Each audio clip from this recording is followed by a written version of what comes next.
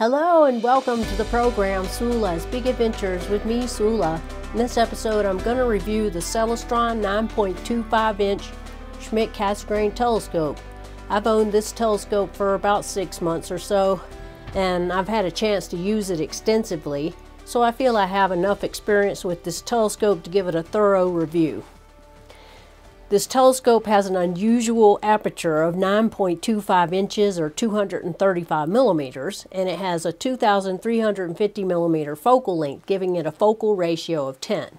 It's a Schmidt-Cassegrain design, which means it has a spherical primary mirror at the back of the telescope and a smaller secondary mirror at the front of the telescope on the inside of a corrector plate that sits out at the very end of the telescope the light enters the telescope through that corrector plate, which is there to correct for spherical aberrations caused by the spherical mirror, primary mirror.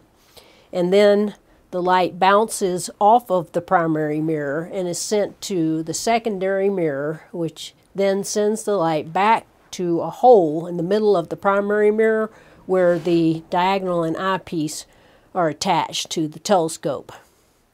In this way, this telescope is much more compact than a reflector telescope of comparable aperture. The optical tube is black aluminum and it's only 22 inches long and it weighs 20 pounds, but more like 22 pounds when you add a diagonal and an eyepiece.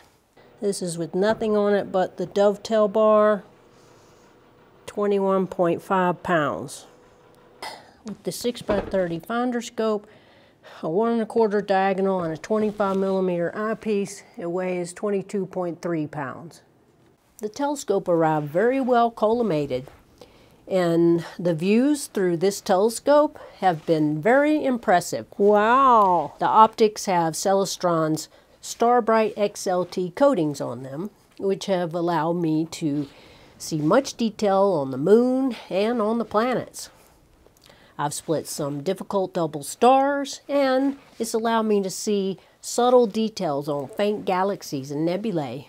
For example, I was able to make out the dust lane in the Little Sombrero Galaxy, a galaxy found in Pegasus NGC 7814. And I even saw the difficult Cone Nebula with this telescope from here, a Bortle 3 site, the Celestron C 9.25 can be mounted on a variety of telescope mounts that will accept the big CGEM dovetail bar that it comes with. The CGEM dovetail is the same as a Losmandy dovetail. I have my C 9.25 telescope mounted on my Losmandy GM8 telescope mount and it's currently in my observatory where I am now, but I can also put the C9.25 on my iOptron HAZ46 mount when needed since my Losmandy mount is the only one that can hold my 6-inch refractor, so they have to share. I haven't tried the C9.25 on my Sirius EQG mount, which can hold 30 pounds, but I think it could handle this for visual use anyway. I have taken some video with the C9.25 telescope of planets and the moon, but I haven't tried it for deep sky astrophotography. But according to Celestron, the XLT coatings on this telescope will increase contrast in light transmission, providing brighter deep sky images and allowing shorter exposure times. I can't confirm that with any personal experience, but I can confirm that this is a great telescope for lunar or planetary imaging or viewing. This telescope comes equipped with Fastar, and that's a technology that Celestron developed to put on some of their Schmidt-Cassegrain telescopes that allows the user to remove the secondary mirror and replace it with a field flattening lens assembly that's sold separately by third-party manufacturers. And the Fastar allows the user to put an astronomy camera on the front of the telescope, making the telescope f2 instead of f10. With Fastar, this allows exposures 25 times shorter than if you place the camera at the back of the telescope where it traditionally is placed using the telescope's native f10 focal ratio According to Celestron, this will allow you to image galaxies and nebulae with exposures of just 30 seconds. The Starbright XLT optical coating system has enhanced multi-layer mirror coatings made from precise layers of aluminum, quartz, titanium dioxide, and silicon dioxide. Reflectivity is fairly flat across the spectrum, optimizing it for both imaging and visual observing. Celestron also uses high transmission water white glass that transmits about 90.5% of light without the anti-reflective coatings and when used in conjunction with the anti-reflective coatings gives the telescope an average light transmission of 97.4%. The optics on this telescope are very impressive and I'm very happy with the telescope and with the views I've had so far of faint deep sky objects, the moon, and the planets. It's a great all-around telescope. It comes with the CGE dovetail, a one and a quarter inch diagonal and a 25 millimeter eyepiece and this 6 by 30 finder scope. So everything you need to get started except for a mount. As of the date I'm filming this, spring 2025, the telescope cost about 1800 US dollars for the optical tube assembly only. That's not bad for such a fine telescope.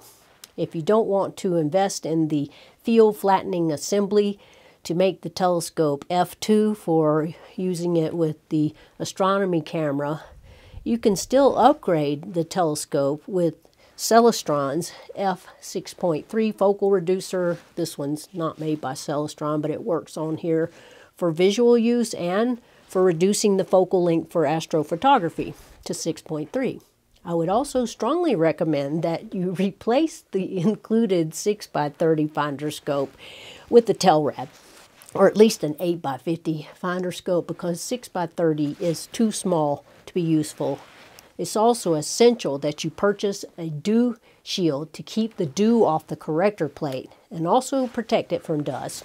And of course, you'll need to get a telescope mount that can handle at least 22 pounds of payload. I don't have any complaints about the optics on this telescope. I thought they were great, and I'm glad I didn't pay the additional $1,000 for the Edge HD version of this telescope because I really don't think it's necessary. For another $1,000 for the HD, you get a 9x50 finder scope, a 2-inch diagonal, and a 23 millimeter Luminos 2-inch eyepiece. And you get the aplanatic field. In my opinion, those things are not worth $1,000. The Luminos eyepiece is nice, as are the nicer diagonal and the finder scope, but I don't think you'll even notice the aplanatic field and the other items don't add up to a $1,000. So if you're thinking about getting a Celestron 9.25 inch telescope, I would strongly recommend that you save your extra $1,000 and just get the C9.25 instead of the Edge now, I do have one complaint about this telescope. Since I'm a visual observer, I would be much more interested in a lighter telescope than having the Fastar or the HD version.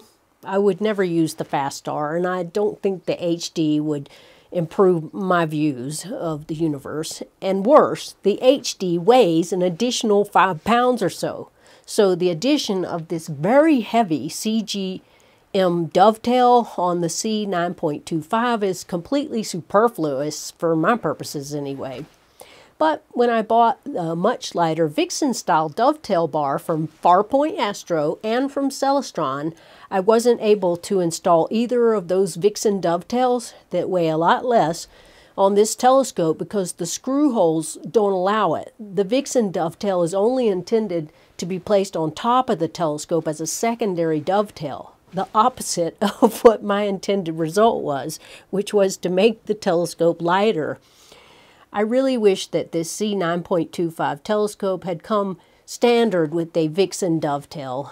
It would make the telescope weigh, I think, around 19 pounds, which may not sound like much, but as you age, every saved pound takes on enormous importance, believe me.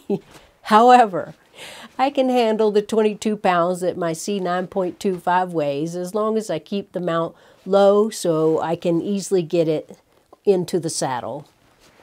So in conclusion, this is an excellent telescope and I highly recommend it. I have thoroughly enjoyed mine so far. I had a Meade 10-inch Schmidt Cassegrain that I took camping last year, but at 30 pounds, it was just too heavy for me. I nearly dropped it twice, and it scared me to death, so I sold it.